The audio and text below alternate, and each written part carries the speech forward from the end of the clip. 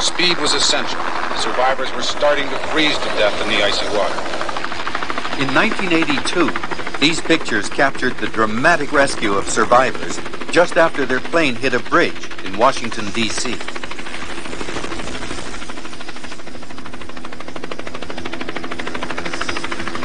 The investigation of this crash was a clear example of how the cockpit voice recording can be used. As the Air Florida 737 waited in line to take off, snow and ice built up on the wings. According to